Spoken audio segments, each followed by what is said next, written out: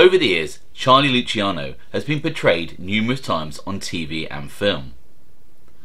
But what was the infamous crime boss actually like in real life? Let's take a look at some of his psychiatric evaluations that were carried out on Charlie Lucky during his time in prison.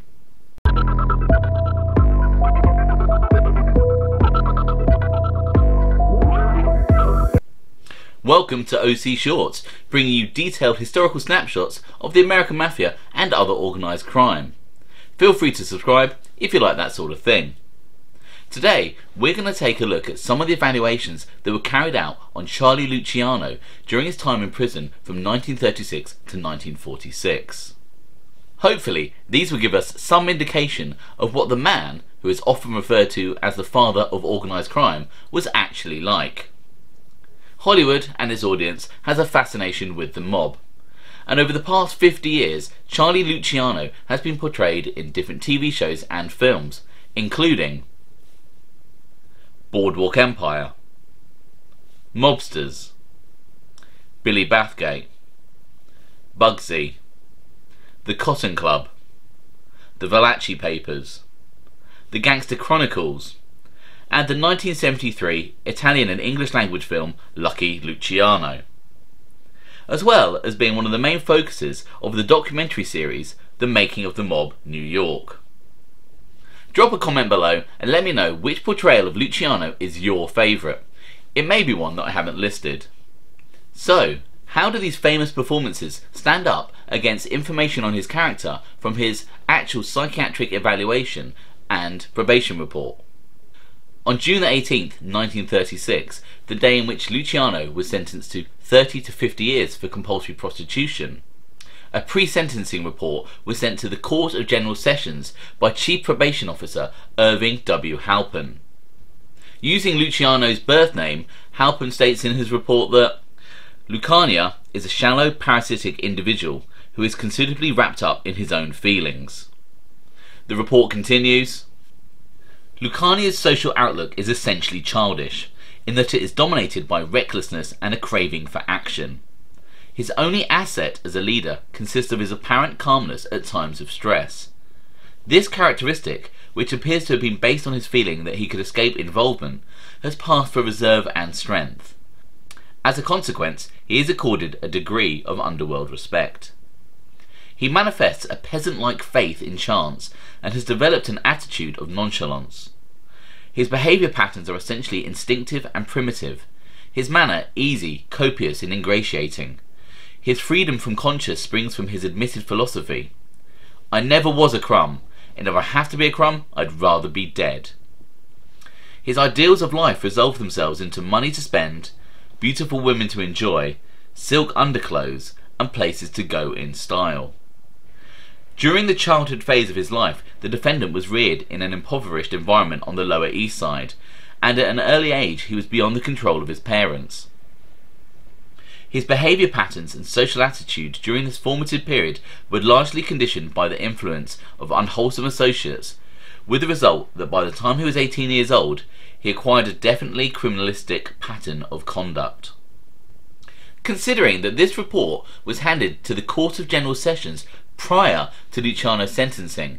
In my opinion, the wording is heavily loaded against Charlie Lucky, especially with such language as describing him as a parasitic individual.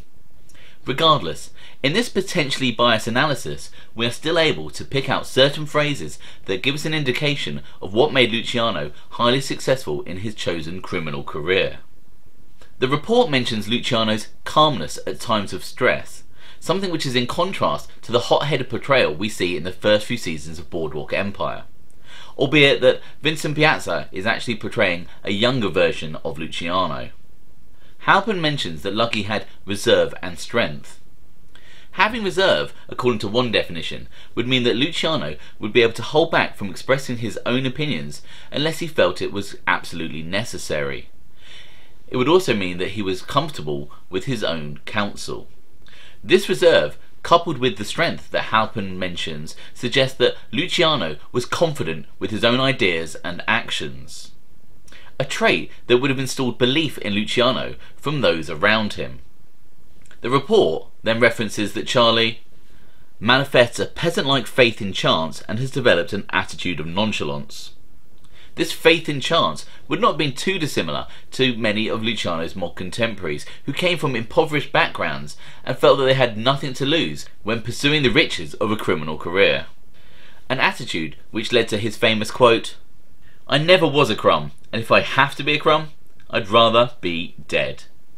One interesting phrase in the analysis is that Halpin states that Luciano's manner is easy, copious, and ingratiating all of which could be considered excellent traits of a well-liked leader, unlike those of a dictator.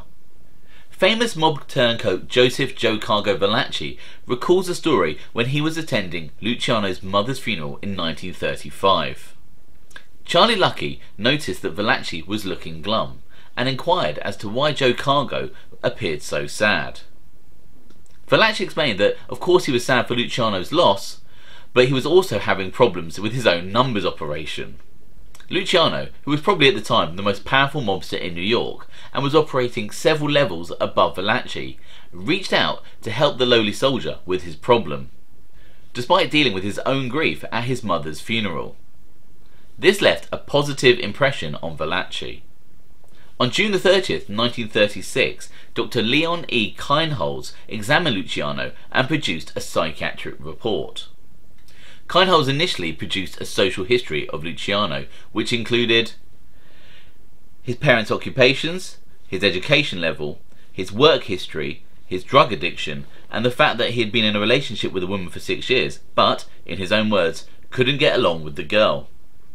Dr. Kienholz also noted that despite Luciano claiming an income of $25,000 a year, the authorities believed that he actually made closer to $1 million a month.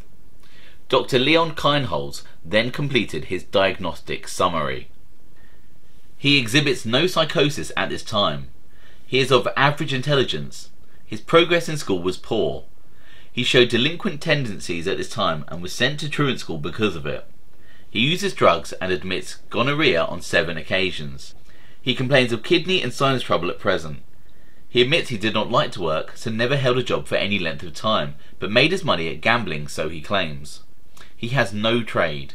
He claims to be a barber, but admits he cannot cut hair, but gave that so he might do that type of work in prison.